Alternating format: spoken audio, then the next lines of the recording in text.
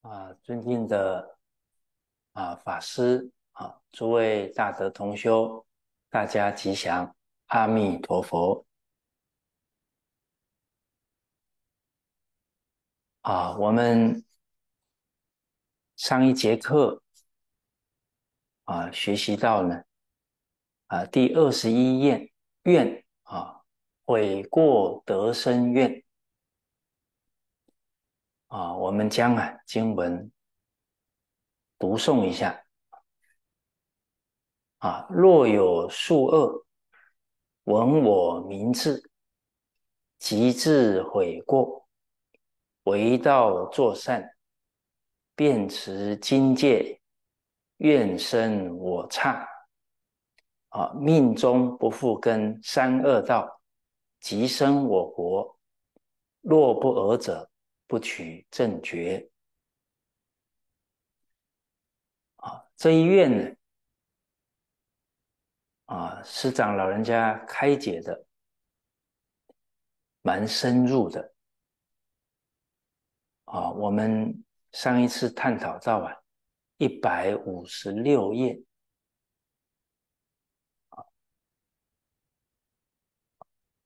那师长还在最后啊。又进一步再说明啊啊，像一百五十五页处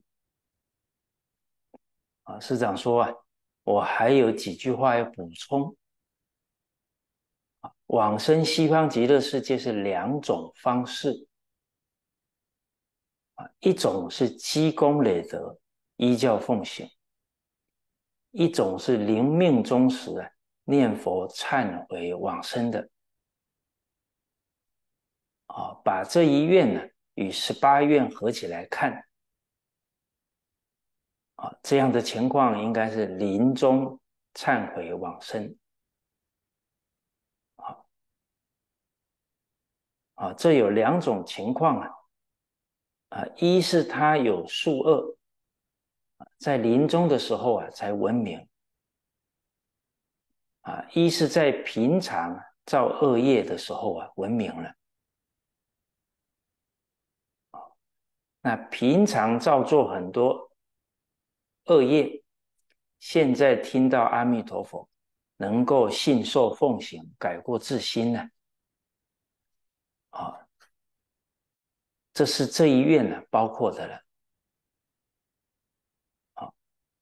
那平常造作恶业，没有机会闻到佛法，到临命终时啊，遇到善知识劝导他，他才闻到，啊，立刻就能相信，啊，发愿求生，一心执持名号，啊，这个也是悔过，啊，也是为道作善往生的，啊，啊，这个是。十八愿愿力所摄受啊啊，所以包括的境界呀非常之广啊。那对我们来讲呢，我们不属于临终忏悔往生啊啊，我们这几代人呢。都不是从小就学佛的了，啊，大部分都不是从小学佛，啊啊，像自己啊没学佛以前呢，是非善恶也分不清楚，哎，随顺社会的风气了，哦，那造很多罪业了。哎，那学了佛以后还造吗？哦，那本来呢，身口意的习惯了，哎，积了二十几年、三十几年了，啊，也不是学了马上就能改，啊，甚至于呢，不见得能看到过在哪，哦，所以我们看呢。师长老人家进一步又在给我们开解了啊。总而言之啊，一个人要天天都能觉察自己的过失，才是觉悟。啊，这个觉是清楚明白。啊，首先呢，我们的身心啊，离我们最近啊，哎，我们得看得到，哎，这个心起心动念有没有过失啊？啊，进一步观察自己的一言一行啊，有没有过失？啊，觉是觉在清楚自己的状况。啊，进一步也清楚别人的状况，啊，清楚自己呀，才能自爱啊。清楚别人的状况，才知道怎么护念他，怎么爱人呢？哦，哦，所以啊，察觉自己的过失啊，佛门称为开悟啊。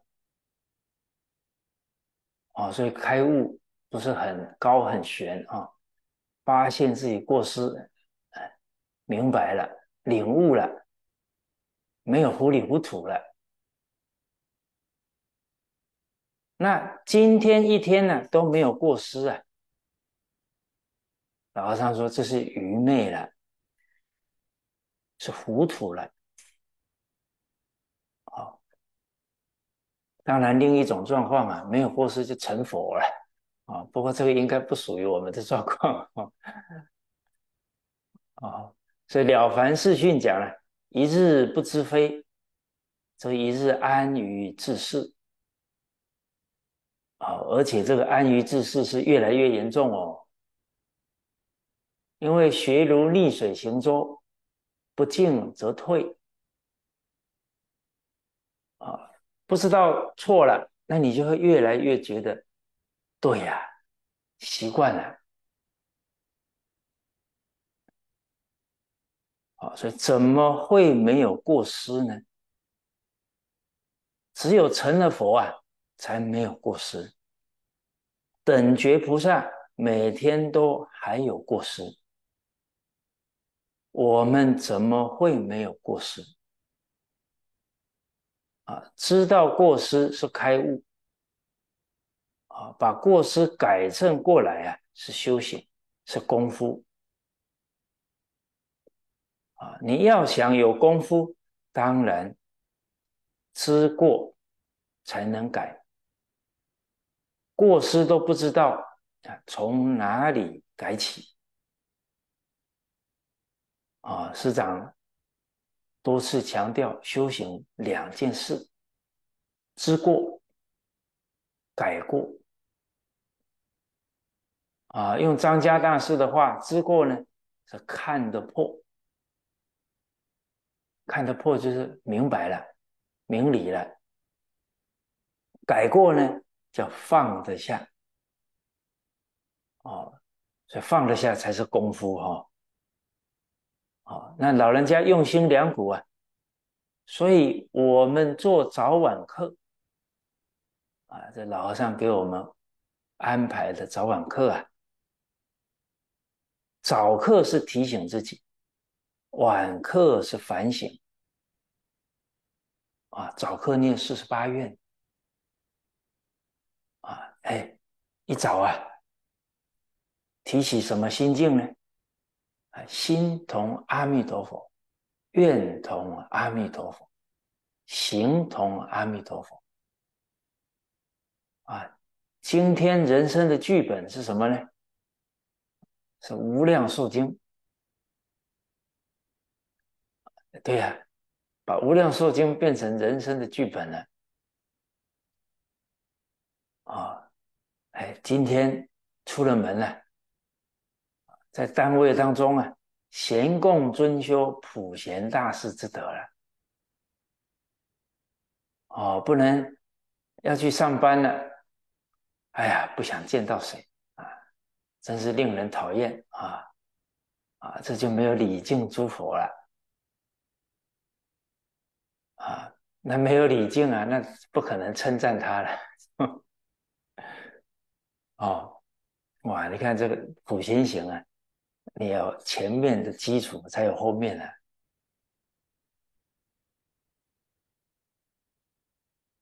哦，所以这个早课提起呀，真心呢，啊，早课呢，把自己的四十八 愿发出来啊，呃，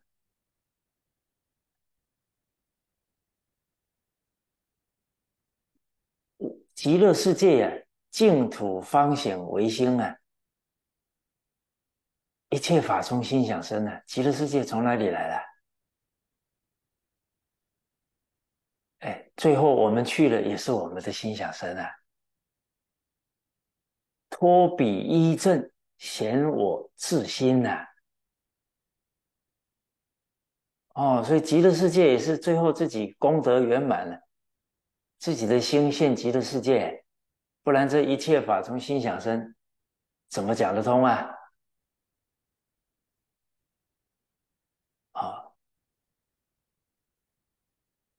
那托比依正呢？呃，极乐世界阿弥陀佛创的呢？哇，你看阿弥陀佛的依正庄严啊！你看我们念无量寿经啊，念完，哇，你看念着念着，哇，他的一正庄严啊，就让我们心生向往了。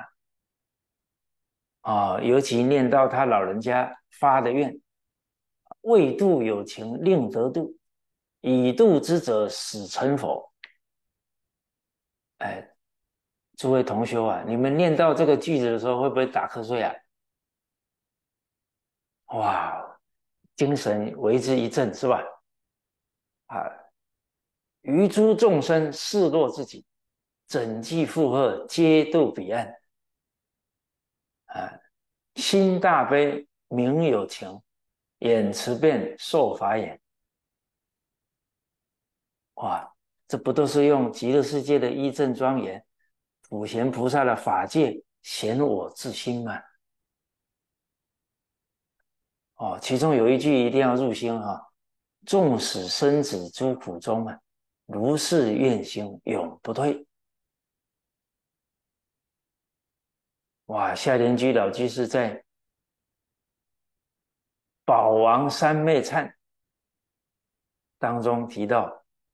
啊，念到这一句啊，他老人家念到这一句啊，啊，都感动的流泪了。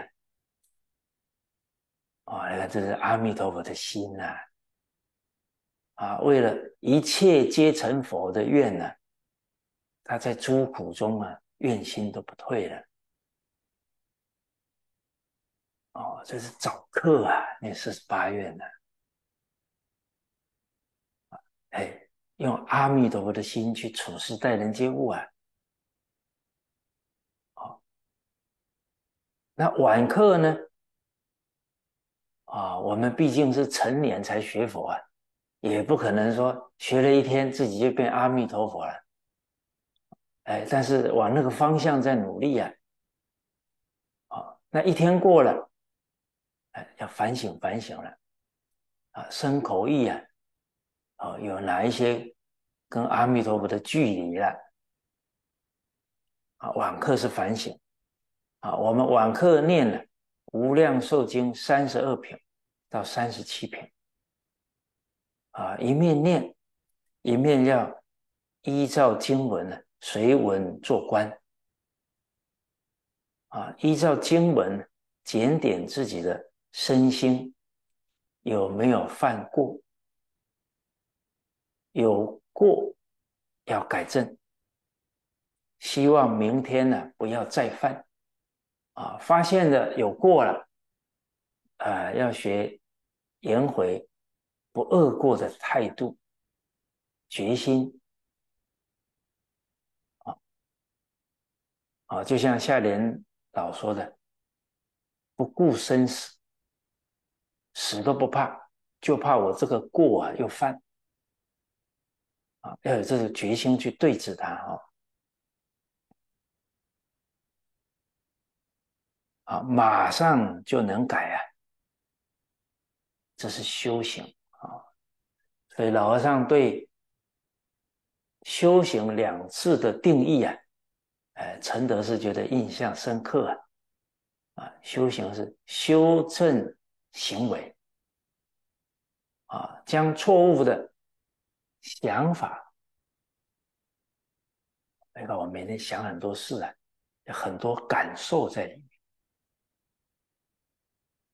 啊，我们有情绪在里面了，不对了。佛菩萨是理智的，不感情用事的啊，还有很多这个。贪嗔痴慢这些情绪啊，念头起来了，这个都要修正的啊。我们的真心是本质清净啊，不能受这些染污了。哦，还有看法，哎，看法有时候啊会看错。啊，不能依自己的角度哦，啊，以经典为标准了，啊，哎，我们有时候说眼见为实啊，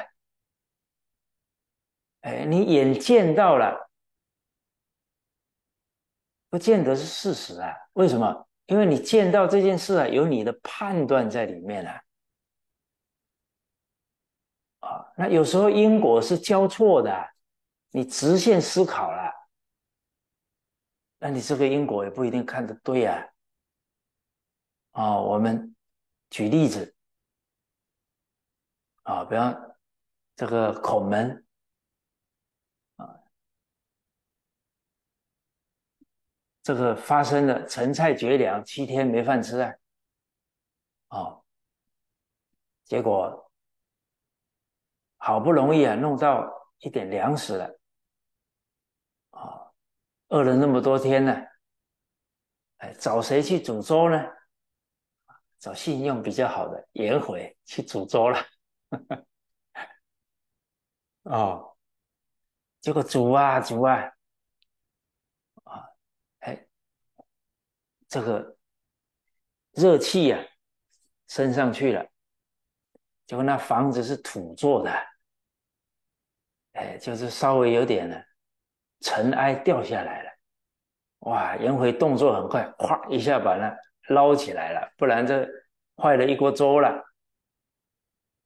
啊，结果捞起来呢，心里想啊，啊，这个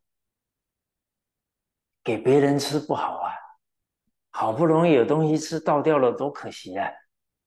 啊，自己稍微弄一弄啊。就喝掉了，不能浪费了。刚好子贡走进来了，子贡一看，好啊，你看在这里偷吃啊，啊，所以请问大家，眼见是不是一定是死啊？啊，尤其是什么？尤其当我们对对方已经有想法了啊，你有成见了。他做啥你就往那里想，是吧？啊，你嫉妒某一个同事啊，嗯，啊，这个嫉妒念留在心中了啊。突然今天看到他做哪个动作，哇，你看，你看，你看啊，马上被我抓住了，啊，哎，自己的心理活动要观察清楚啊，关心为要啊。这个心念偏了就是过失啊，哎，不能借题发挥了啊！终于给我逮到了啊！其实这样的心态都不厚道了！哎，这个子贡啊，呃，就去找孔夫子了。哇，你看子贡很会讲话啊！啊子贡没有一进去说：“夫子啊。”颜回多吃东西啊，这个太讲话太太露骨了啊！你看，人家人家子贡啊，人人怜视，穷改节乎啊！哦，这个人人怜视啊，困穷的时候会不会改他的节啊？孔子说：“人人廉士，不可不不会的，改了就不叫人人廉士了。”结果孔子说：“我刚刚看到颜回偷喝粥了。”啊，先铺垫了一句：“人人廉士，穷改节乎？”啊，哎，你看孔子怎么应对啊？啊啊，孔子说啊。虽然你这么说啊，我想可能另有原因呢。他也没有否定子贡啊，是吧？哦，假如孔子因为太喜爱颜回了，子贡一定是你看错了，你误会人家了，子贡可能就内伤了，是吧？我明明亲眼看到，老师你太偏心了，啊，哦，所以孔子处理是厉害啊。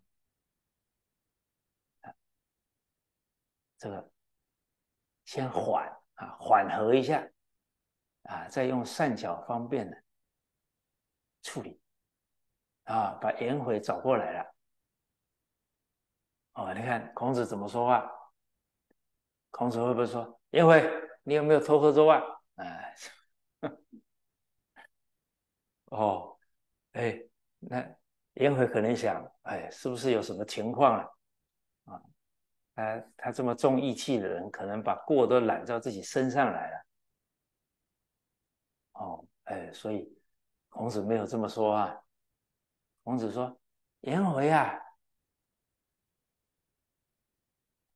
啊，我昨天梦到祖宗了。我想啊，我们今天煮的东西啊，拿来祭祀祖宗。哎，你看这么一问呢，真相就出来了。”哦，所以中国人含言语含蓄有没有道理啊？有时候太直接了，伤到人啊，或者有时候有一些人重义气啊，你很直接的时候呢，他可能会把它扛下来了啊。你有时候就不不见得知道真实情况了。哦，所以处理事都要心都很安定啊。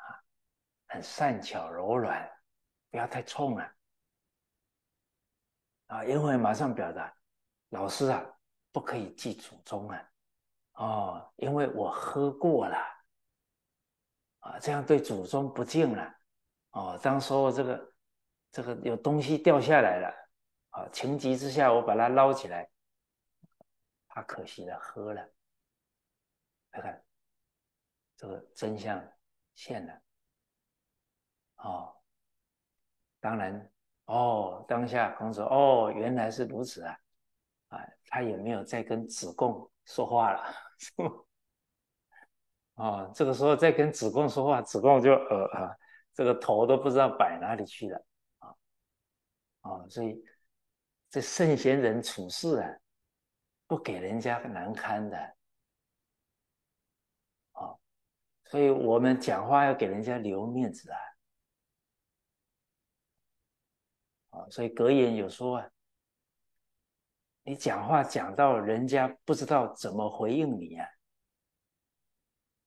啊，你你你你你哦，搞得人家都不知道怎么回你话了，这个就是损应得的地方啊，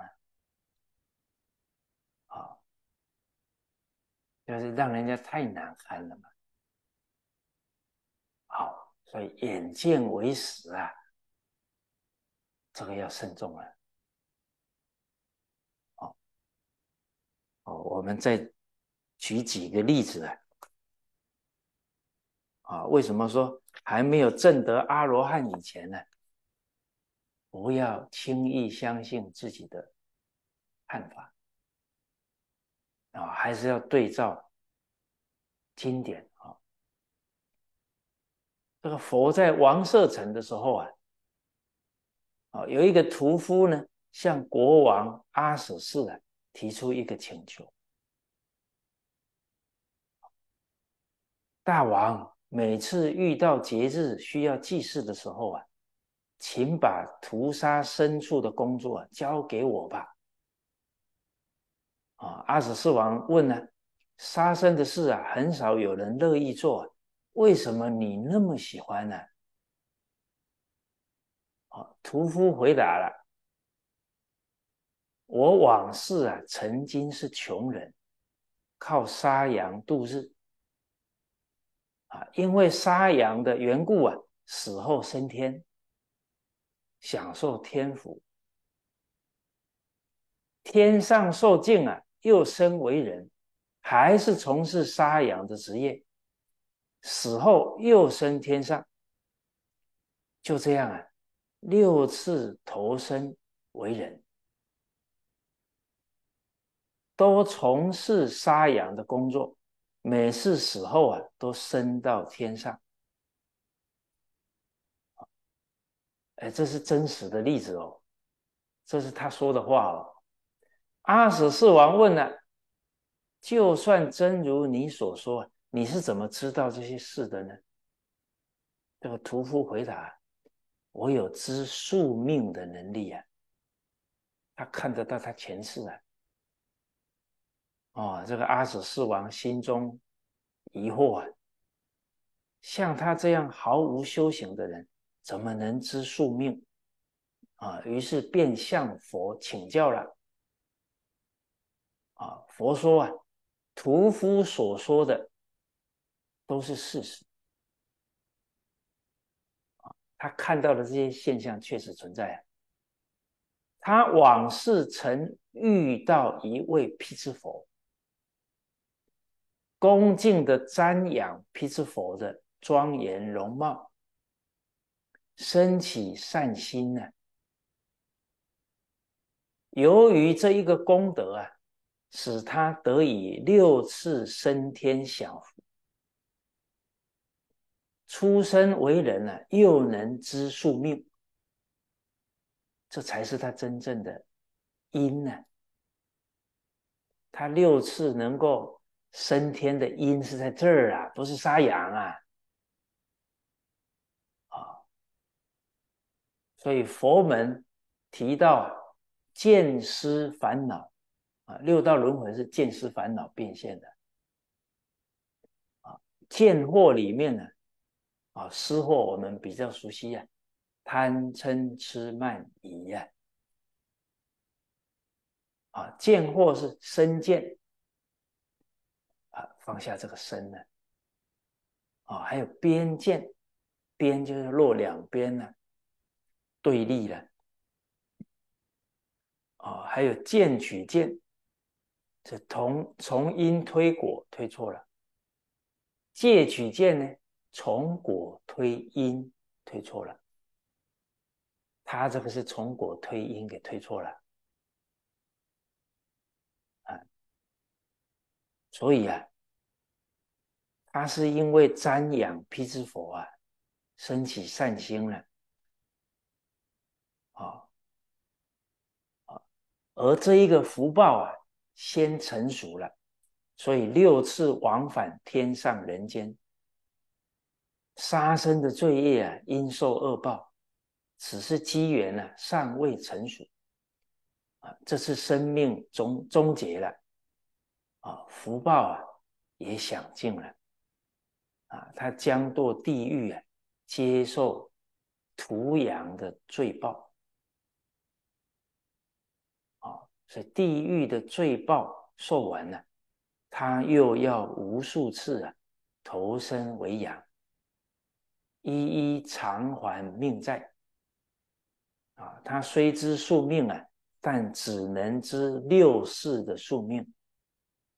六世以前他看不到啊，所以误认为屠羊是升天的原因了。啊，这个故事是从啊。杂譬喻经里面，啊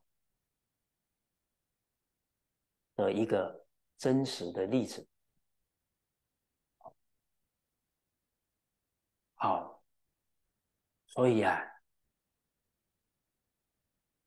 我们呢不能依自己的想法看法，要依经典，是吧？啊，你比方说。善的标准佛门讲五戒，儒家讲五常，完全相应。第一个不杀生，就是仁；不偷盗，就是义；啊，不邪淫是礼；不妄语是信；不饮酒是智。哎，这个标准很重要啊！哎，老和尚为什么要讲传统文化老师啊？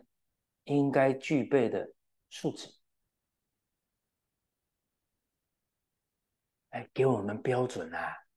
啊，你不能投身去教学了，去护法了，你依自己的意思了，那就非常危险了，会偏的很厉害了。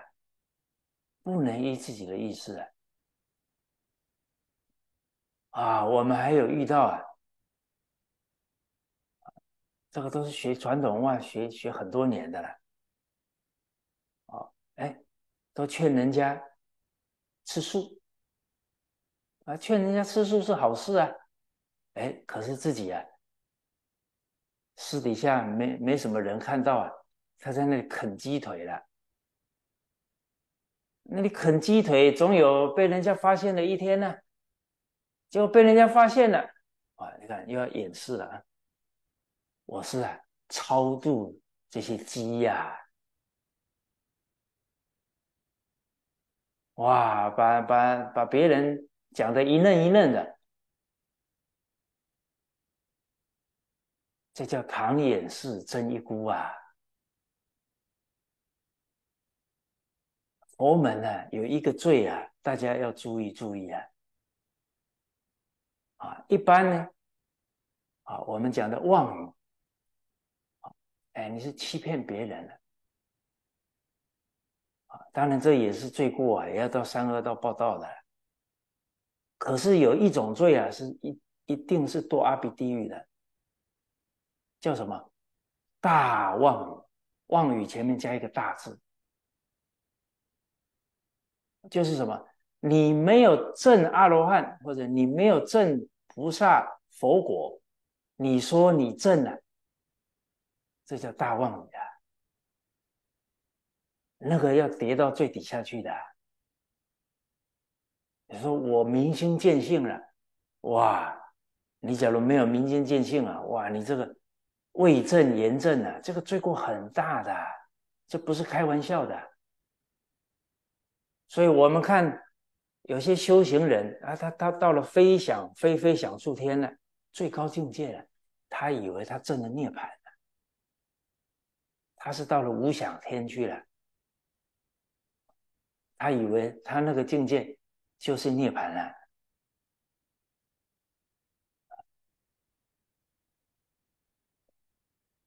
哦，所以这个没有正言正的，这个罪过太大了啊！你明明是口腹之欲忍不住了，还说要超度，哇！你真的有超度的能力啊？啊，这个鸡踏在你的肩膀上就升天了。你有这个功夫才能这么讲啊，没这么功夫讲了，那那这个就是很大的妄语了。所以啊，我们这一两代人呢，不是从小扎根的，观自己的心念呢。不能自欺呀！你明明就有欲望在里面，还谈什么？我要超度他，这叫自欺欺人啊！这不是开玩笑的。哦，你看我们祖师真有这个功夫啊？什么时候才现这种功夫啊？宝智公，梁武帝身边的高僧呢？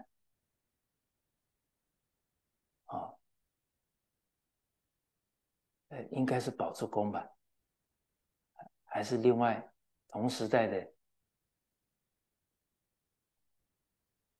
哦，对，好像同时代也有一个高人呢，啊啊，要走的时候哎，他吃肉啊，吃吃吃，吃了，最后吐出来都是活的，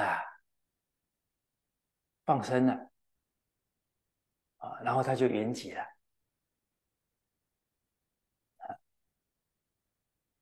哦，不会乱去现这些神通啊！所以大乘佛法是论心不论事啊。可是问题是，假如我们做人的基础没有，都在骗自己了，那讲出来的话会很狂啊，变成狂会了。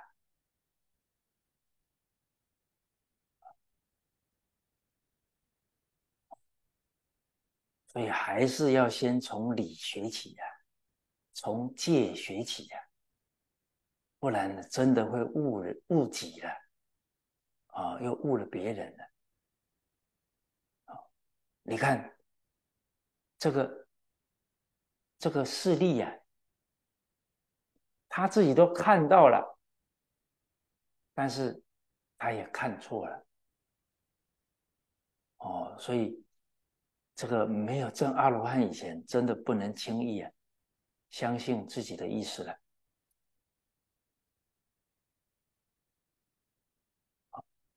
好，那我们刚刚说啊，还是要依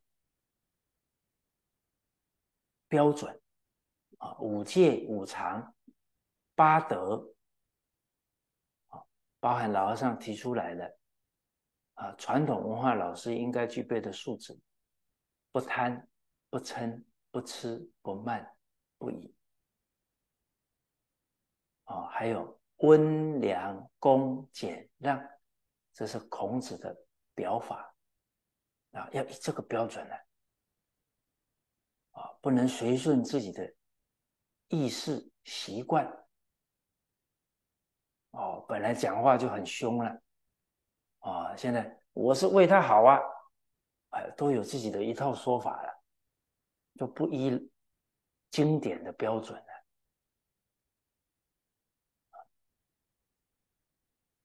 那五戒五常啊，人啊不杀生，不恼害众生；义呢啊不逾矩啊，不占人家便宜啊，而且这个义呀，义者宜也，适当的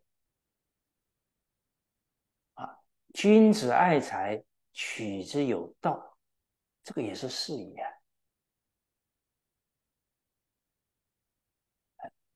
哦，不然哦，比方说我们从事医学，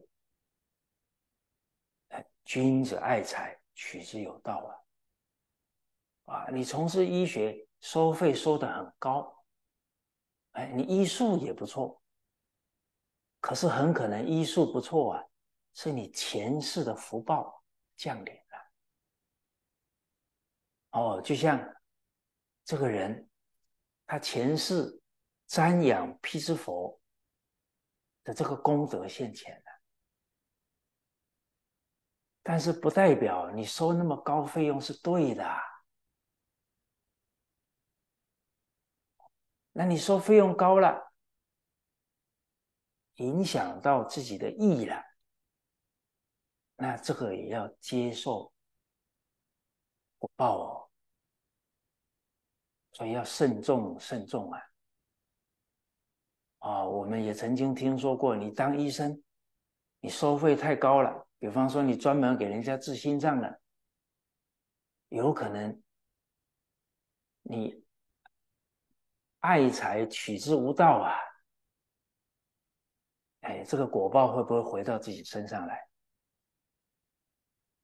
啊，这些都要慎重慎重啊！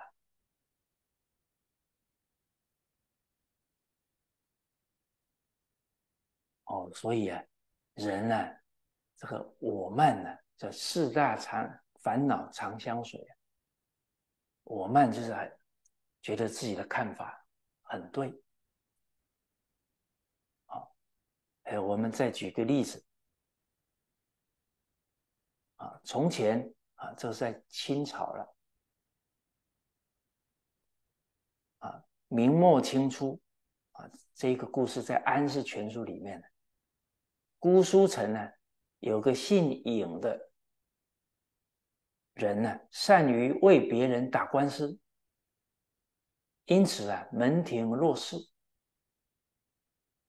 后来呢，生了一个儿子，啊，很多人找他打官司嘛，相貌俊秀，聪明绝顶，哇，得了一个这么好的儿子啊，他良心发现。悔改以前的过错，不再给别人呢写那些言辞不实的。啊啊这些状纸了，就帮人家打官司的，而且写的不实在的，他不做了。结果没过多久啊，他的儿子突然双目失明。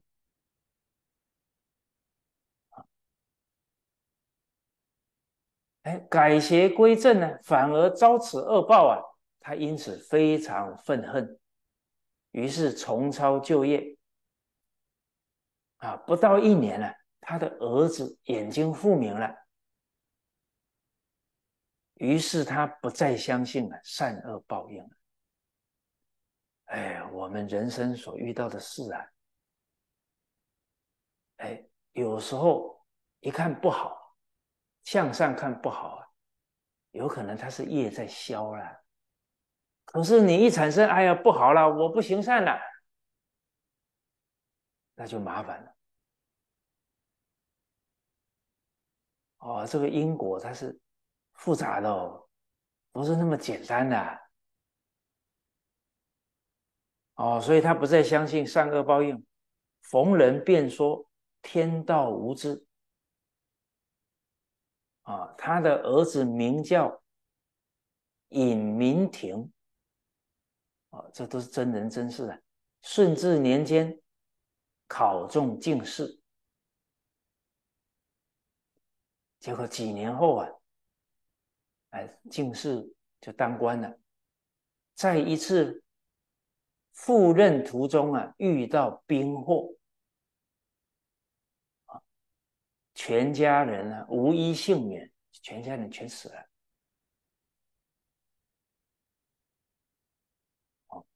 所以啊，这个善恶是有标准的。任何时候啊，我们不能对他怀疑，而相信了自己的想法。哦，这孔子时代也出现这个情况啊，有一户人家。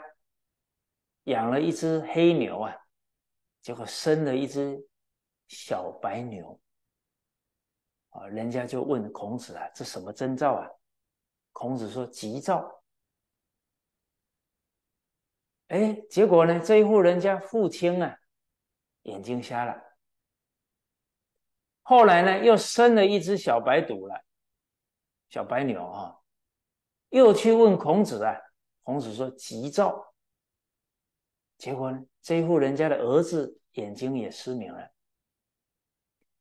假如这样的时候啊，你相不相信孔子啊？啊，这楚国人呢？啊这个这个宋国人呢？结果没多久呢，楚国跟宋国打仗，啊，那楚国那么大，宋国那么小，很多男子啊，通通征召。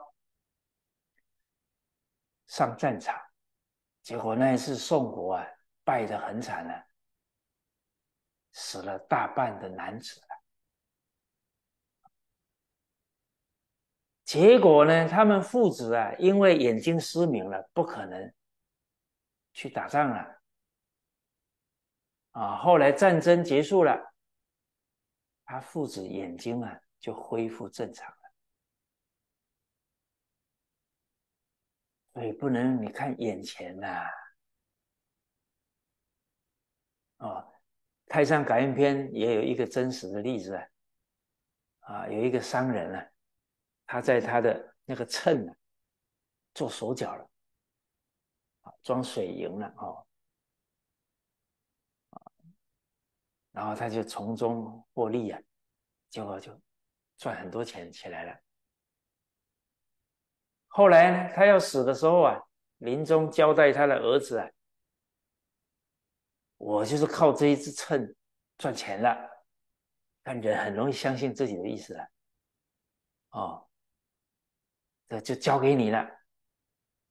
结果他儿子接过来呢，觉得良心不安，就把这个秤烧掉了。结果过没多久啊，他儿子已经有两个小孩了，两个小孩相继死了。啊，他儿子觉得。我父亲这么干，致富了，结果我现在把它烧掉了，我记得两个儿子死了。哎，后来梦中啊，啊，就有神明告诉他了啊，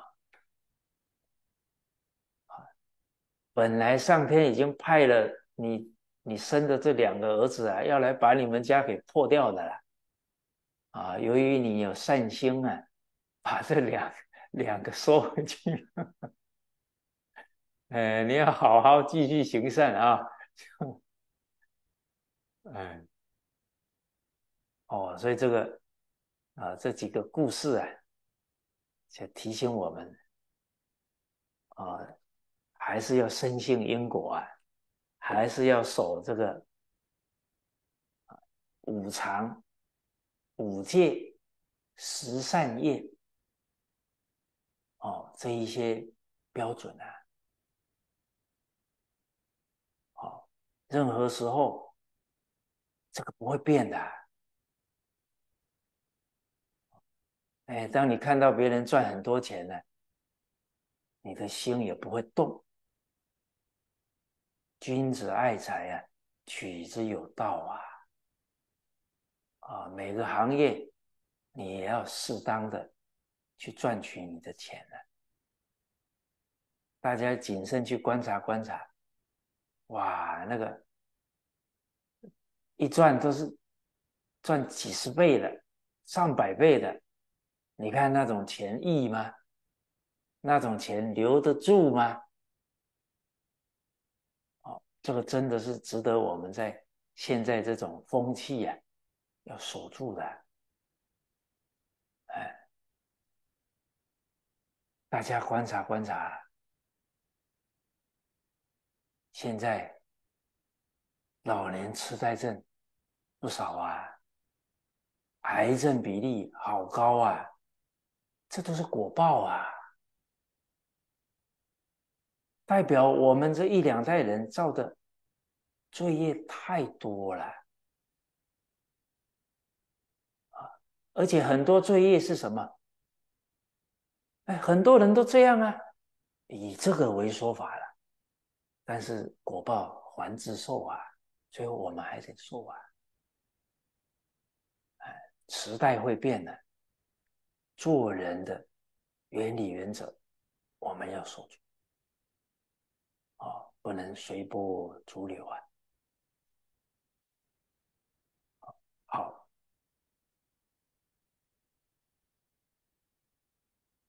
哦，所以知过，啊，以这个经典为标准，啊，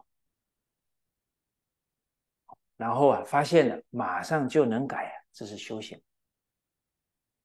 好，所以念经念佛啊，都还不是修行，它是手段。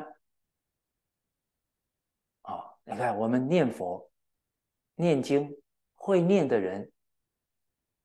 就是把妄念打掉了，把分别执着打掉，这是修行了，从念头下功夫了。可是我们念经念佛的时候，妄想纷飞呀，那这个就不是修行了，甚至会什么增长分别执着。哦，所以夏老讲了一个重点呢，不能轻忽仰视。四就是我们的第六意识、第七意识啊，第八是落印象啊，阿赖耶识啊。我们念着经呢，还一直在想事啊，那不是这个这个六七都在增长了吗？哦，所以为什么说口念弥陀心散乱，喊破喉咙也枉然？看起来是在念佛，在外面有增无减了。所以真正念佛也要下功夫啊！一切莫管，不能再去想其他的事了，字句分明啊，平平常常。老实念去，好，所以改过自新啊，才是修行！把错误的身口意三业改正啊！修行啊，是从内心做起，形式啊是其次啊！所以《华严经》上啊。不重视形式，重视在内心啊！这是大乘法跟小乘法不一样。小乘重视在形式，论事不论心，所以小乘人不能明心见性。大乘人论心不论事，心地真正。清净光明，断恶修善。但大成人呢？啊，我们佛门也强调啊，不先学小乘，后学大乘呢，非佛弟子。啊，哎，我们用什么来看就清楚了。净业三福啊，第一福人天成。第二福小乘，第三福大乘，啊，那西方极乐世界是普贤菩萨法界，那是一层呢，大乘中的最高的一层呢，那韦提希夫人求生呢，我怎么告诉他？三世诸佛敬业正应，叫他修三福。过去、现在、未来，所有的佛啊，都是依三福修的。第一，孝养父母，奉事师长，慈心不杀，修十善业。哎，先有这个基础了。嗯，有这个基础啊。才有做人做事的基础啊，才能不自欺呀！我们儒家特别强调，所谓“诚其意者，物自欺也”。你要真诚面对自己的，明明就是想吃鸡腿，你还说什么要超度他？那这不是自欺了吗？哎，然后还补一句：“大臣论心不论事。”哇，那真是阿弥陀佛了。所以这大臣要有做人做事的基础啊，不然你看学的要不狂了，要不人情事理都不懂啊，搞得人家很痛苦了。你说我我是为他好啊。你没有中恕之道，设身处地了，还一直觉得反正我为他好，我对得起我自己就好了。哎，大臣那心地要很柔软的，没有像我们这么粗的啦。柔和直直，色身德，防止众生起心动念。他柔软表现在哪？他做任何事啊，他担心，他能感受到，哎，我这么一做，会不会造成别人的烦恼？不是粗很粗心的，那菩萨所在之处，让一切众生生欢喜心了，所以他心很细很柔软的。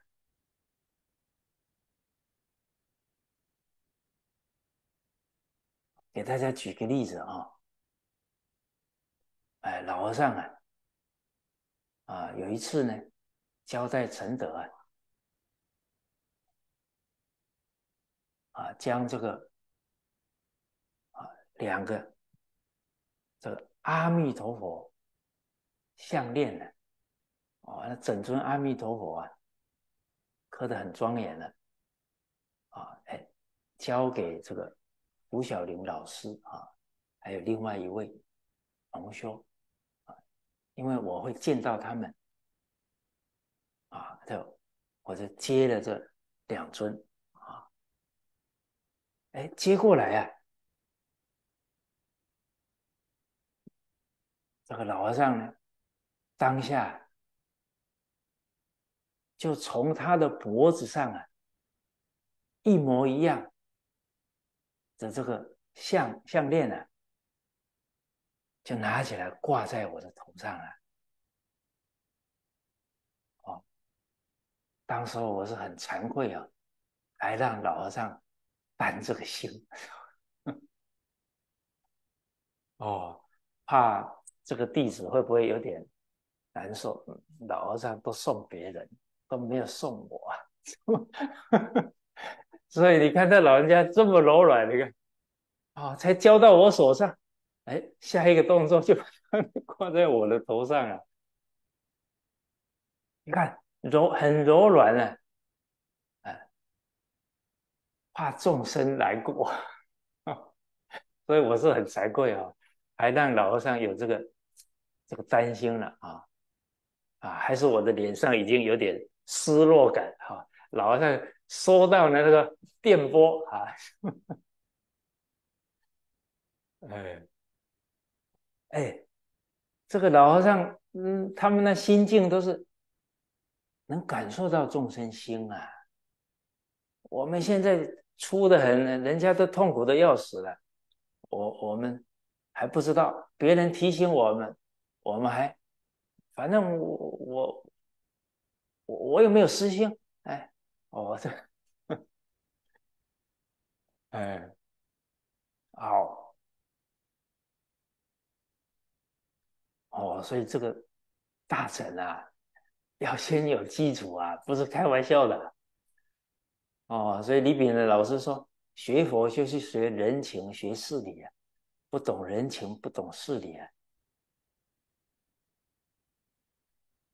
会变佛呆子啦。哎，所以啊，基础啊还是很重要啊，常理举要啊，我们还是要好好学啊，《弟子规》啊，还是要好好学啊。你现在看到自己，看到他人，啊，甚至看到学很久的人，哎，他的行为出了情况，在我们这个时代，都。不意外，为什么？没有基础啊！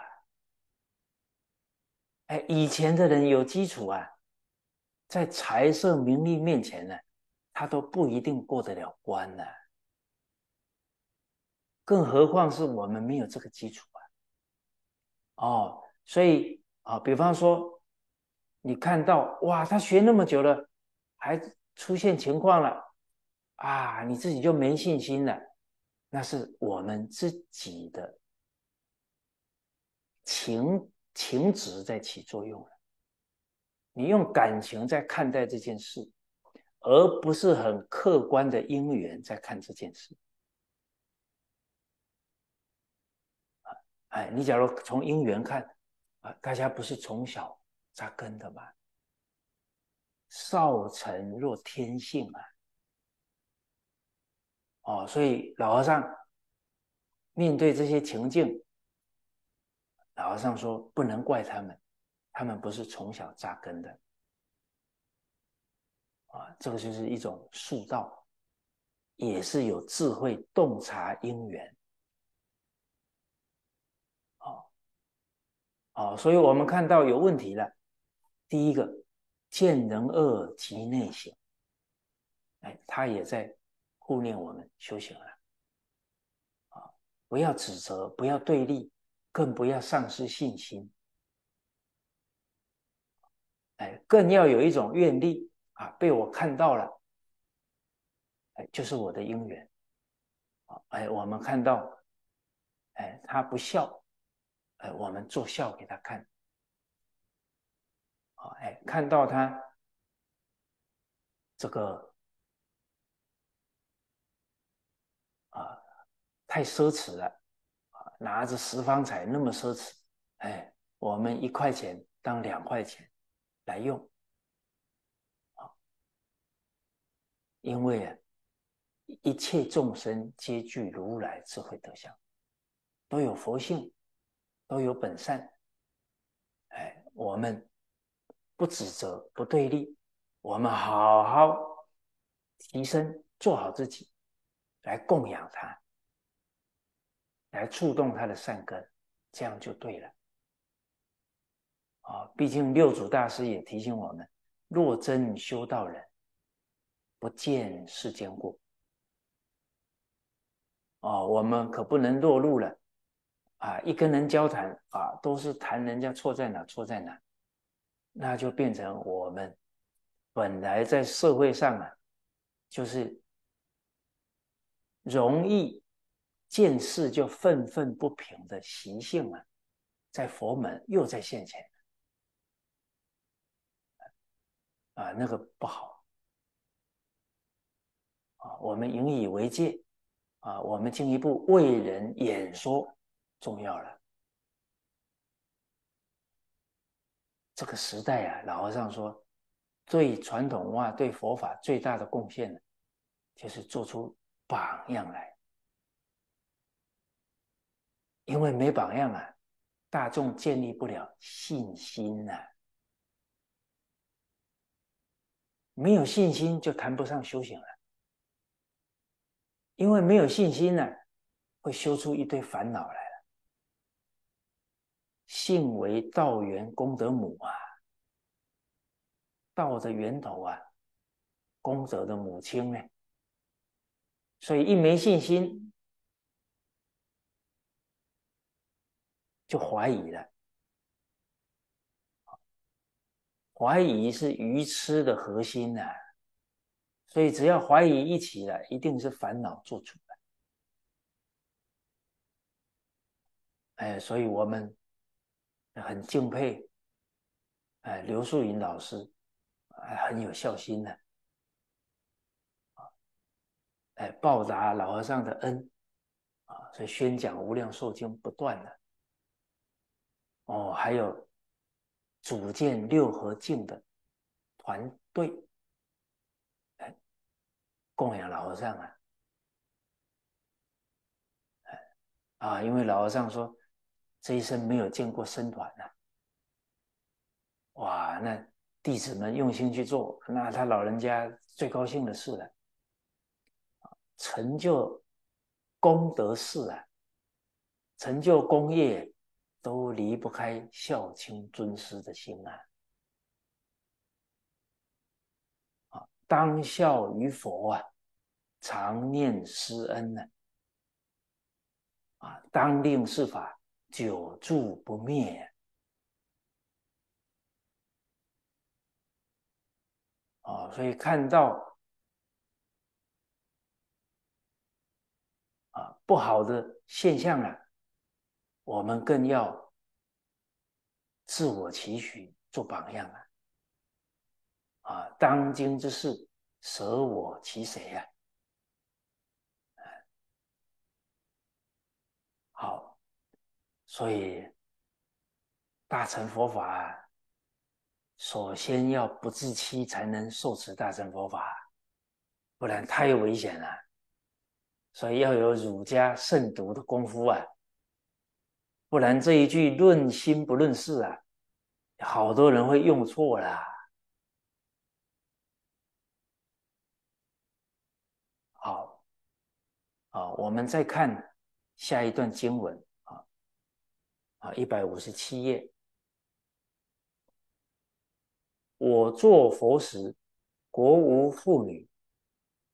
若有女人闻我名字，得清净性，发菩提心，厌患女身，愿生我国，命中即化男子，来我刹土。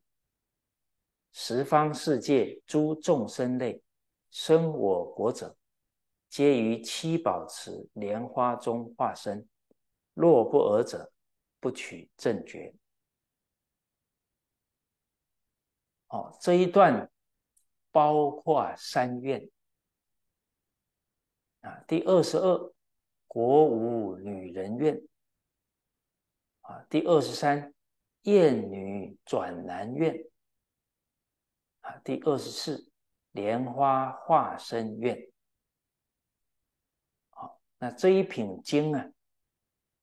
啊，第六品呢，从第十八愿到二十四愿，都是说文明得益，而且得最殊胜的利益啊。哦，所以这个名号功德啊，不可思议啊！我我们当时候一开始学佛啊。啊，听到名号功德很大，啊，赶紧呢到净宗学会去请了啊这个南无阿弥陀佛的贴纸啊，贴在车后面，啊，那开车出去啊，一停红灯，后面就有车，车子停停在自己后面，就看到前面南无阿弥陀佛啊。他可能就念一遍了，啊，哦，就是我们有啊，啊，希望啊众生闻名啊啊，或者是种善根的心呢，都有一些善巧方便的方法。好，当然哈，啊，你让他闻名了，啊，然后呢，他也挺欢喜，这样会比较好哦。啊，哎，你不要啊！他他现在不了解南无阿弥陀佛，然后你偏要在他面前一直念一直念啊，然后还还让他气到在那里谤法谤佛，那那这个就变成你太执着了。哎，好。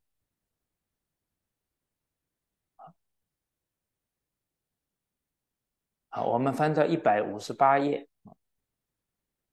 啊，第二十二愿在经文里只有一句：“我做佛时啊，国无妇女。”啊，哎，不知道诸位女同胞，当时候念经文的时候，念到“国无女人”啊，大家起什么念头啊？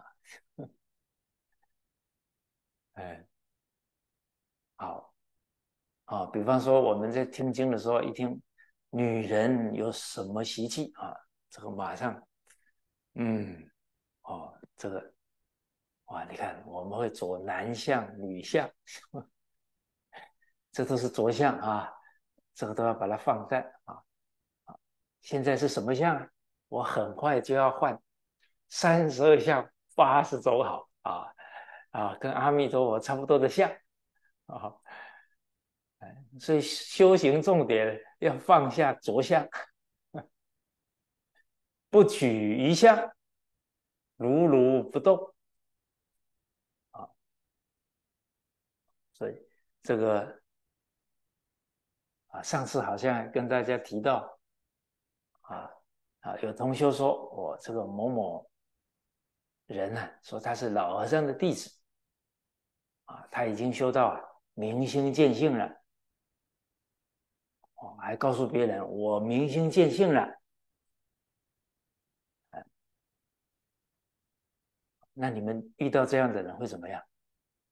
哇，很激动，哇，明心见性了，啊，你一激动你就失了判断力了，哦，而且还说，啊。跟他一起念佛啊，可以上极乐世界去。啊，念念好了，该下来还可以下来。哦，哎呀，这真的是太危险了！这个末法时期，邪师说法如恒河沙啊。哦，还说十岁小孩跟着他上极乐世界下来了，这个孩子已经开悟了。哦，我说这个，这个，他狂了就麻烦了，而且都不对照经典了。哦，不对照祖师的教诲了。哦，就像师长一百五十八页说了。啊，极乐世界没有女人。我们现在看见了有人画极乐世界图，有女人，这跟经义不相符了，这个不可靠。啊，所以我们要建立一个态度啊，以经典呢来判断。好，那。啊，我们就依经典呢，跟大家来探讨。好，比方说，哎，我证得什么呢？哎，这《金刚经》有教了。啊，我念一下经文啊。须菩提说到了世尊，啊，他向世尊禀报了。佛说：“我得无真三昧，人中最为第一，是第一离欲阿罗汉。我不做试念，我没有说我是阿罗汉的念头。那我是离欲阿罗汉。啊，世尊，我若自我若做试念，我得阿罗汉道。”啊，我明心见性了，是吧？啊，世尊则不说须菩提是要阿难那行者了。哦，所以师长，啊，承德这一本是《金刚经》研习报告，啊，《金刚般若研习报告》，啊，这老和尚开解《金刚经》很深入的啊。老和尚说了。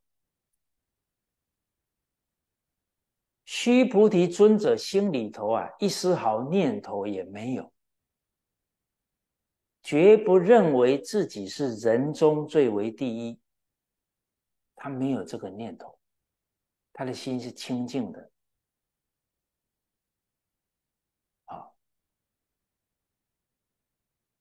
好，所以有念头说我正了，那这个就是一个。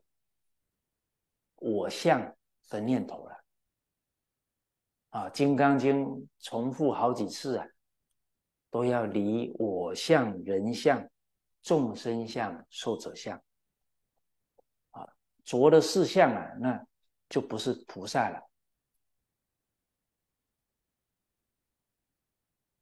好，这个所以没有我正，没有我度。啊，没有我说法，那这个念头本身呢，就有我相、人相、众生相、寿者相了。这个我们要会判断的哦。你看，我度啊，我当时刚接触佛法啊，要去参加一个活动啊，佛教界办的。啊，在火车上呢，见到很多长者，哎，他们学佛时间很长。我当时才二十多岁呀，啊，在车上，他们谈话的时候，我听了好几遍了。谁谁谁是我度的，谁谁谁是我度的。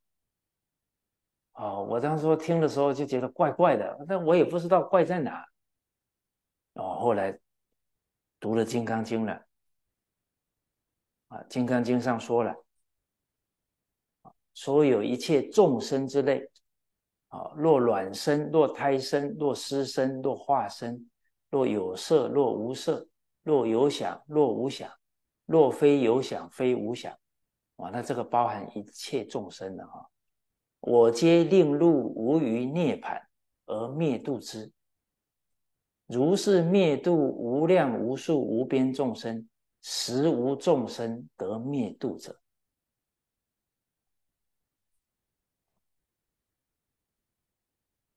所以老和尚说了，虽然尽心尽力的帮助，心里面若无其事，绝无分别执着。所以心里痕迹都不露。应该灭度无量无数无边众生，实无众生得灭度者。啊，所以《了凡四训》说的“内不见己，外不见人，中不见所施主”。啊，内不见能度的自己，外不见能度的人，中不见所度之法。所以佛在《金刚经》说：“若说我有说法者，即是谤佛，不能解我所说意。”啊，这个我们待会再看下一段啊。无有说法啊，这个我佛都是心里痕迹都不露的，哪有我们都是挂在嘴上的？我说了什么法？我度了什么众生？哦，所以绝对不能着相。哦，那何以故啊？啊，为什么佛说实无众生得灭度者？何以故？须菩提，若菩萨有我相、人相、众生相、寿者相，即非菩萨。所以菩萨和凡夫差别，就是一个是无念。一个是有念，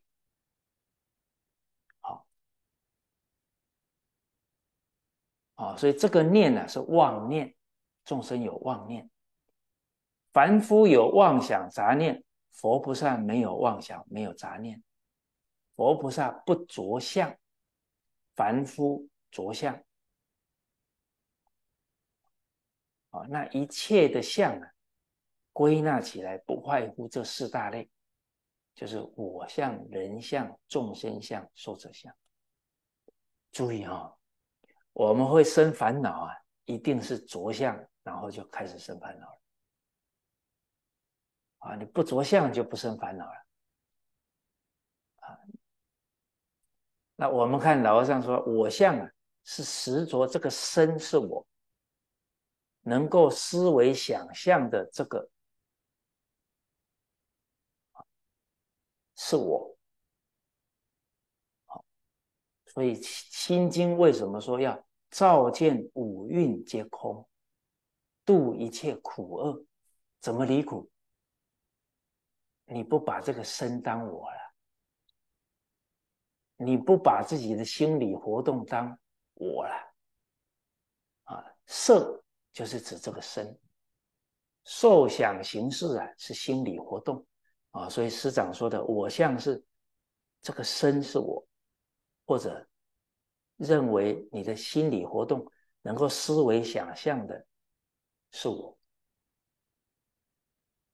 那与我相对的呢是人相啊，啊，与我跟人相对的一切万物啊是众生相啊。你看，我们一生，哎，我有送他东西，我当时送的那个东西很贵，哎，那个东西是不是众生相？我相、人相、众生相，而且是他生日那一天我送的，哦，你看时间都记那么清楚，哎，这个都是你着相的点，哦。他应该最起码也给我表示表示啊，给我回馈回馈啊，啊，还学佛学那么久了，连这点理都不懂。你看，哇，一大堆着相的念头啊！他学很久了，你看又是个相。哦，啊，他应该去学常理几要啊，又着一个常理几要的相了啊。哦哦，所以受者相是时间。哦，我们只要起念头，这跟跟这个事项有关了。我们现在警觉性要很高了，赶快！哎呀，我着相，阿弥陀佛，阿弥陀佛，拉回来啊！不能随随着着相啊，那那就妄想相续不断了。啊，受者相是时间，执着时间相续不断，有过去，有现在，未来。哦，所以《金刚心》说：过去心不可得，现在心不可得，未来心不可得。啊，所以事相包括一切现象。执着以为是实在的，是真有的，啊，其实凡所有相，皆是虚妄啊。既然是假的，不要放在心上。一放在心上，我们就着相生烦恼。啊，哎，心上什么都不放啊，容不容易啊？理上啊，我相信没人反对的。真心一法不立，别放了。事上呢？想不放啊，真难啊！因为我们轮回那么久了，太习惯了，所以啊，阿弥陀佛慈悲啊，想了个妙法啊，不放很难了，就放一样啊，放阿弥陀佛，放这一句万德洪名啊，啊，以这一念抵所有的妄念，这个方法极善巧啊。更妙的是什么？这一句名号就是自己的真心，常住真心。啊，我们知道这个法门呢，就是中了佛门第一特奖啊！啊，半夜都要偷笑，哎呀，太幸运了！你看《金刚经》就讲什么？云何应住？云何降伏其心？哎，教我们怎么降伏妄心，用真心啊！你住，你要住在真心上啊，常住真心啊，这不容易啊！哎，可是我们这个法，云何应住？南无阿弥陀佛。云何降伏其心？南无阿弥陀佛。你老实念佛了，很快就能入啊《金刚经》法身的境界了。哎，因无所住，哎，您一生接一生呢，妄念进不来了，就没有住了，没有执着了。可是你要一生接一生，清清楚楚、明明白白，那叫而生其心了。啊，你心是清净的，所以叫极而常照。啊，因无所住就是空寂啊，没有执着啊。而生其心是照，你不是变成一块石头了，啥反应都没有了。啊，你一声接一声，清清楚楚。哦，你看老和尚表演给我们看的。啊，哎，老和尚说。分秒必争，心上念佛，啊，哎，念佛就是你，你在起作用了，哦，有体有用啊，哎，啊，你心都在佛号清净了，哎，刚好有人来请教老和尚了，啊，随问随答，哦，都可以应机说法。因为你心地清净嘛，就像镜子一样啊，啊，哎，镜缘来了，哎，你会给他解答的，他也很满意，哎，解答完了，哎，没有缘的时候，哎，这句佛号再提起来了，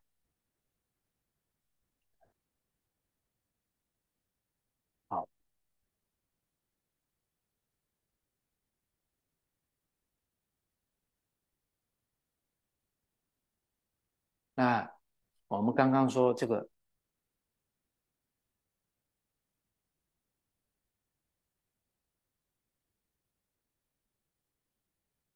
啊，也佛啊也表呢，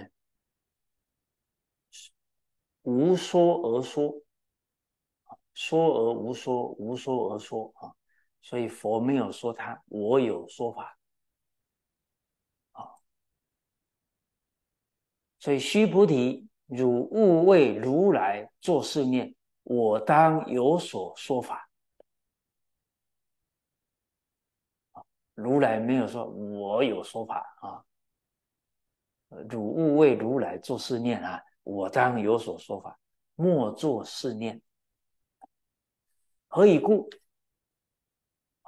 若人言如来有所说法，即是谤佛，不能解我所说故啊。好，那师长讲到了。好啊，经文里面说，做事念有作念呢，是有这个意思啊，就是有念了嘛，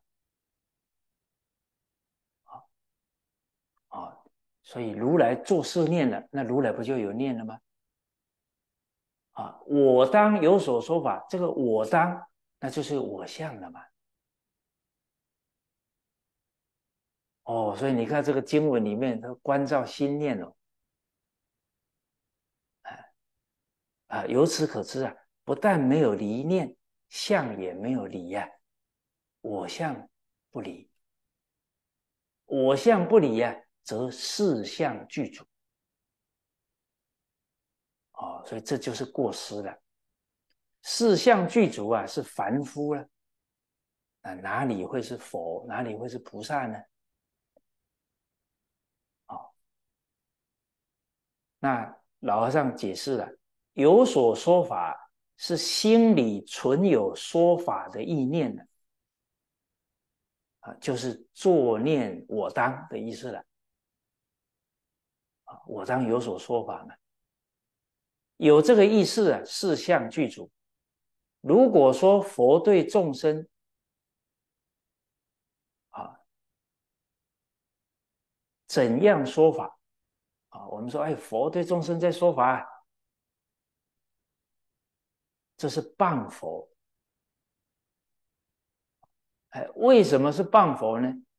注解说到了，如来空即性中，啊，他的这个在自信当中啊，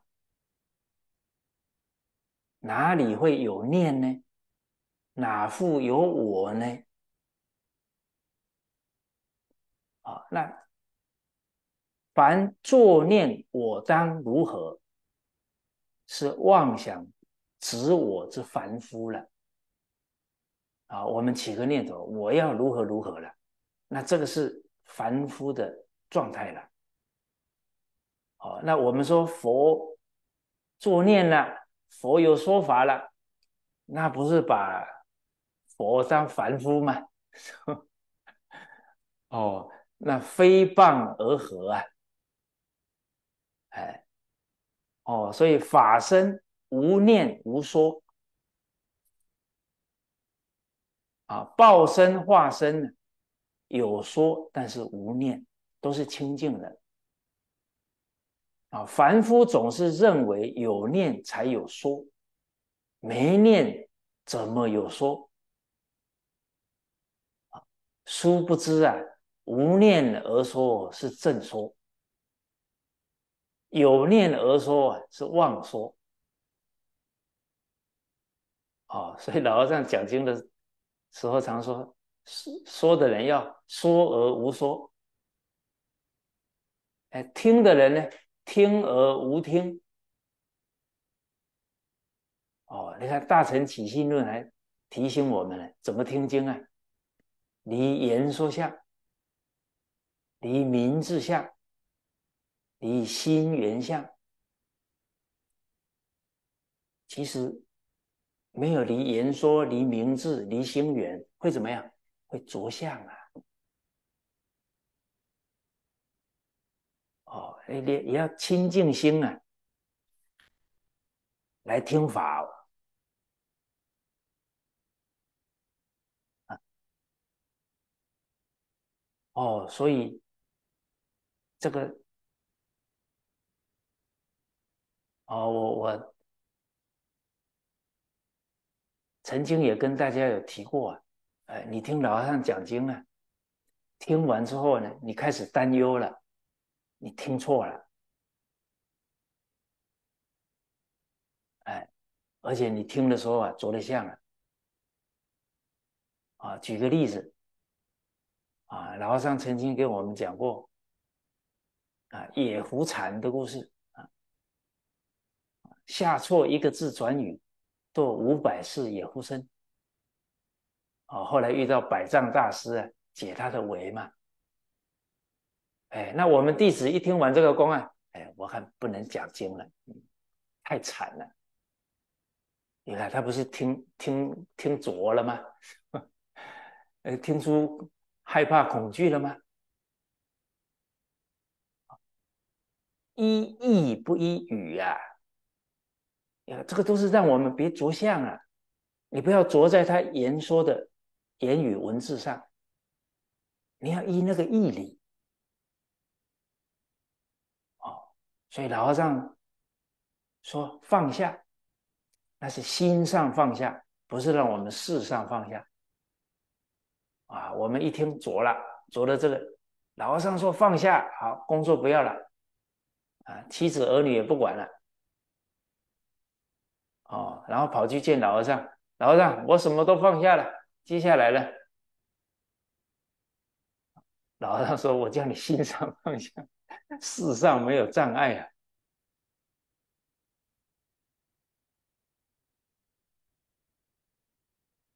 哦，所以啊。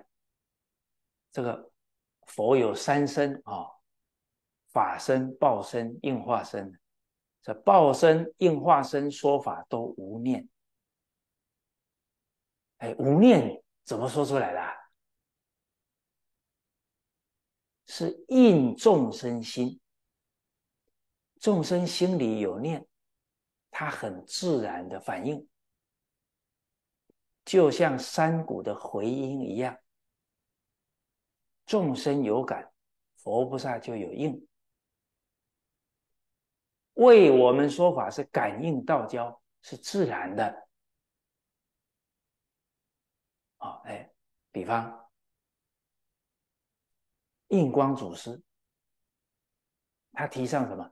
了凡四训、安世全书、太上感应篇汇编。哎，结果呢？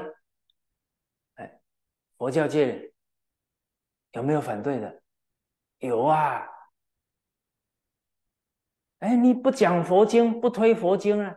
你怎么都推不是纯佛经呢？哎，大家看哦，那印光祖师是证明是大势至菩萨再来的，那他的心里有没有分别？这是佛经，那不是佛经。那不是着着了佛经的相了吗？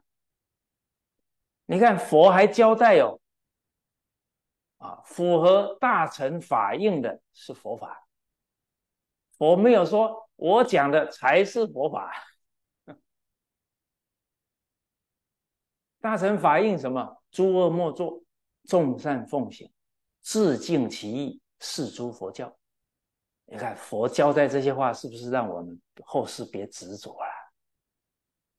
哇，不然后世的佛弟子，嗯，佛讲了，我们这些才是正法，那那这，那那不就又浊了吗？所以祖师，你看给我们表演不着相啊。现在众生的根性啊，这些经典，你要大乘佛法，你要有基础才行啊。啊，我们汉地是主要是学大乘啊，小乘被儒家、道家取代了。哦，所以这个南宋之后，这个小乘两个宗派慢慢慢慢就式微了。这都是因缘法，我们要会观察啊，但是还是要打基础的。啊。哦那你看印主不着相了，人家开出来这个应众生机，啊，老和尚也是啊，啊，印主那时代的人比我们根性又高了不少啊，现在我们又跌下来了，老和尚开什么？开《弟子规》，开《太上感应篇》，开《十善业道经》，尤其开《弟子规》啊，为什么？我们连做人家子女应该怎么做，我们都不懂了，都让父母不省心啊！你怎么去服务众生，去度众生呢？那更不可能了。哦那老和尚这么推崇，也被反对啊？那这个也是正常现象啊。啊，那老人家为什么开开这些经典？他是应众生的程度，随众生心应所之量。所以为我们说法是感应道交啊，是自然的。哦。所以须菩提说法者，无法可说啊，是名说法啊。所以师长说啊，说法的人，这个相有，说法人的体空他他的心是空寂的，都是因缘生法，法可以受用。不可执着。好，说法者无念，学法者也要学无念，要懂得缘起性空，啊，会相归性，万法一如。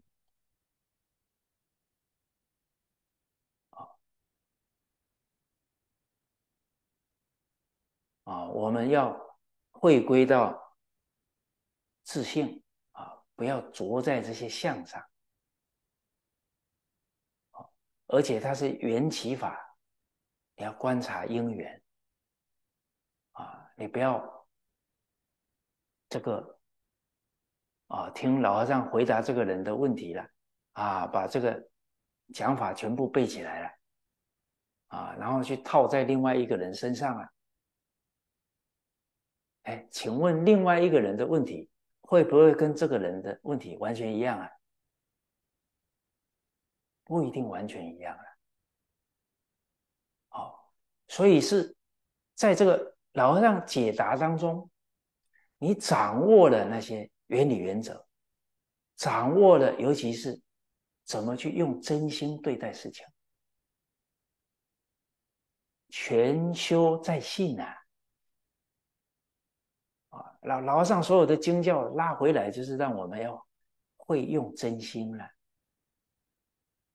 哦，那你会用真心了，那在不同的因缘，你这个真心会因应不同因缘去进退啊，去做啊。佛法的东西是活的啦，哎，哦，你比方。这个啊，陈德当时候到海口去，啊，后来又到深圳，那当时候呢，我在深圳分享了一个课程呢，啊，结果讲完课啊，有一个老人家走到我面前，很神秘啊，把我拉到旁边去。然后跟我说，他好像发现了天大的秘密啊！他说：“你你一个佛字都没有讲啊，你讲的都是佛法。”啊，那我们就是学佛的喽。我我们我就一直老和尚的经教啊。哎，那为什么我们在那个公众场合一个佛字都不讲？嗯，这个这个陈德法师没有复讲。嗯，你看老和尚讲的他没有复讲，那个场合就是不能讲佛字的，那你还着那个老和尚讲的言语像，啊，那那你讲两句就被人家请下来了。哦，况且我们去去的因缘推展传统文化啊，你你推展传统文化到学校去啊，一进去阿弥陀佛，好，你你下一句不用讲了，你下来吧。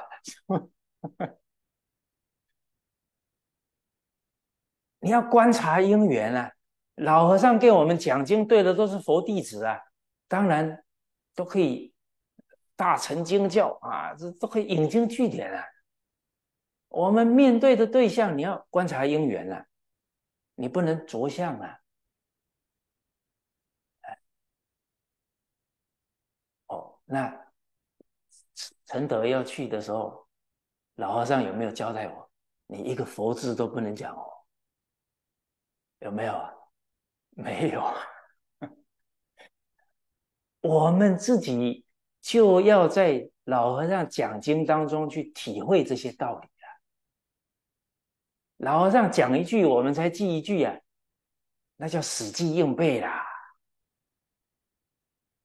那学的是死东西啦。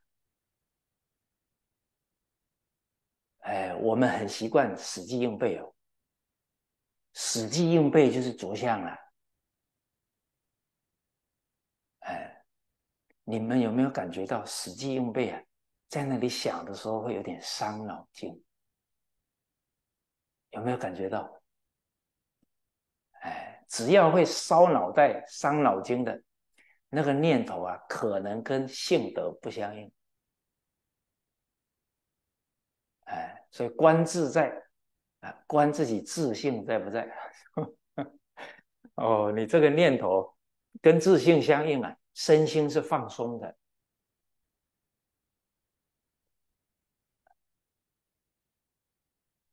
哦，所以你看老和尚他说在讲课啊，哎，准备好了，结果一上台呢，跟准备的讲的都不一样。哦准备还是要准备，为什么？这是恭敬，讲经嘛，你要准备要恭敬。但是上去了呢，那看着听众的状态，听众的吸收，哇，那应机说法了啊。假如他执着了，嗯，我今天准备了，我一定要讲这一些了，那他就不能应机了。啊，你若心有住，即是非住。你有住就是有执着有相，哎呀，我已经准备了，我今天不讲完我不甘心啊！哇，你心上有东西了，你就不是无念了，你就不能以呃无说而说了。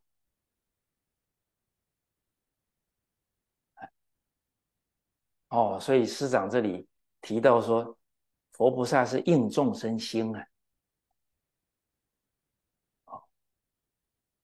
所以听东西呀，都要懂得这个回归到性德归性啊。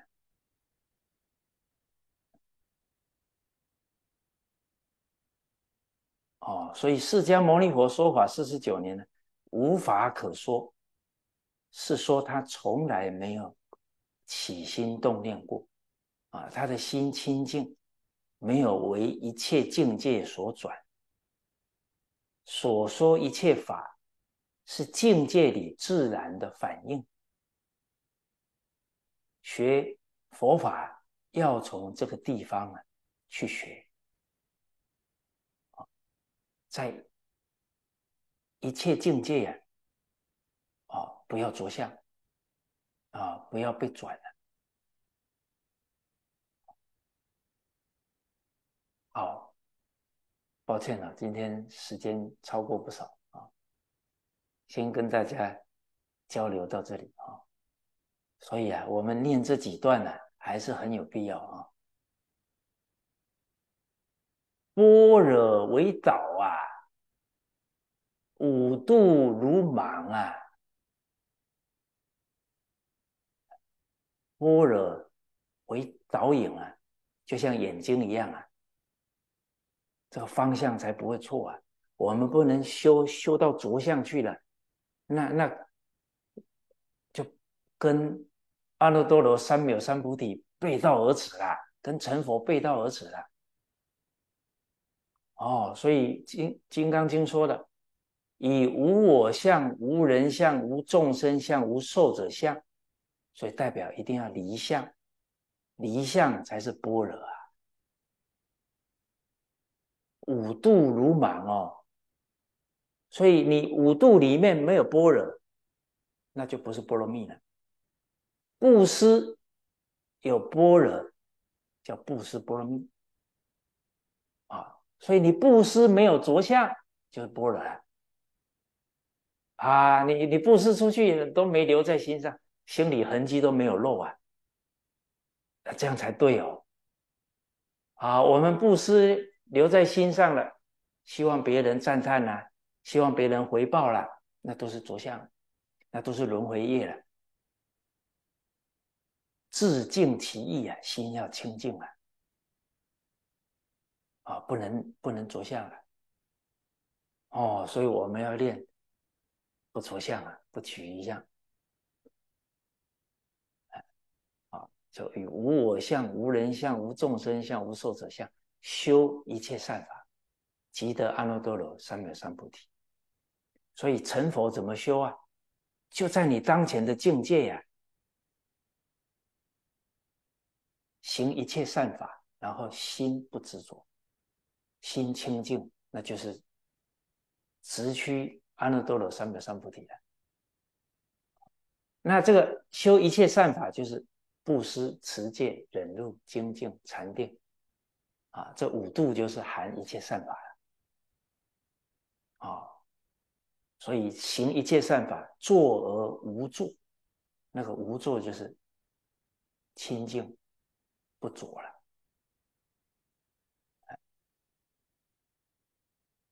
好，所以我们这个经，这个这个《无量寿经》也说了啊，观法如画，三昧常体。啊，观法如画，就是整个般若经要告诉我们，我们指导我们别着相啊，因为真相是什么？凡所有相，皆是虚妄。啊，老和尚总结般若二十二年，一切法无所有，毕竟空，不可得。你越清楚万法都是因缘所生的，当体皆空了不可得，都是假的，你就不会常常把它放心上了。啊，你越清楚这一句佛号是真的。你就越把它提起来了，哎，哦，所以海贤老和尚说，成佛是大事，啊，念佛成佛是大事，其他的啥都是假的啊，别跟自己过不去了啊，别又抓一堆东西放在心上了，哎，别好日子不干啊，好，啊，谢谢大家啊，阿弥陀佛。